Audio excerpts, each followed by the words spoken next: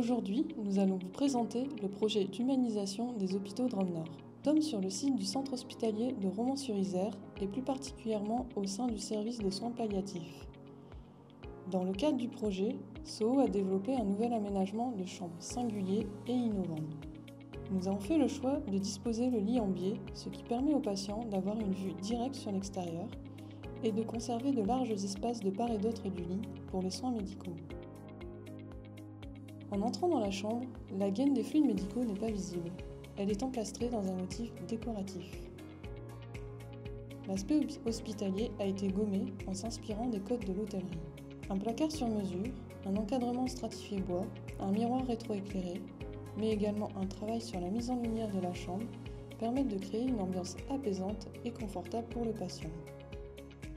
Cette réalisation s'inscrit dans un projet plus global qui comprend une rénovation énergétique des façades, la réhabilitation du hall principal, la création de salons visiteurs et l'intégration de nouveaux vestiaires pour le personnel.